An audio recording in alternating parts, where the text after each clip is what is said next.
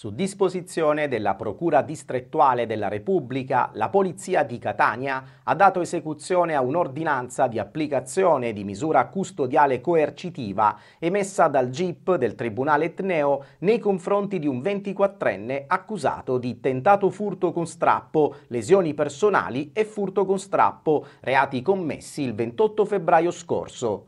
Le indagini, eseguite dalla locale squadra mobile, hanno permesso di acquisire elementi che dimostrerebbero il coinvolgimento del giovane in due episodi criminosi avvenuti nel centro storico di Catania ai danni di due donne. L'indagine è scaturita da un primo tentativo di furto con strappo a opera di un soggetto che alla guida di una piccola utilitaria, sporgendo il braccio sinistro fuori dal finestrino, ha afferrato con violenza la borsa di una donna nel tentativo non riuscito di strappargliela.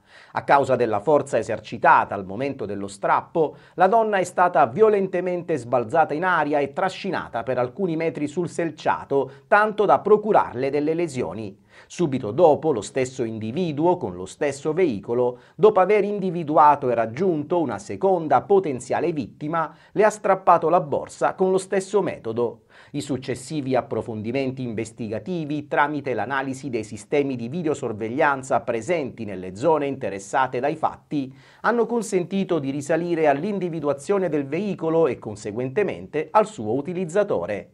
La coincidenza del titolare dell'autovettura e del responsabile dei fatti ha trovato ulteriore conforto nelle informazioni raccolte dai testimoni che avevano assistito ai due scippi. Il giudice per le indagini preliminari, su richiesta del pubblico ministero, ha quindi disposto nei confronti dell'indagato l'applicazione della misura cautelare degli arresti domiciliari.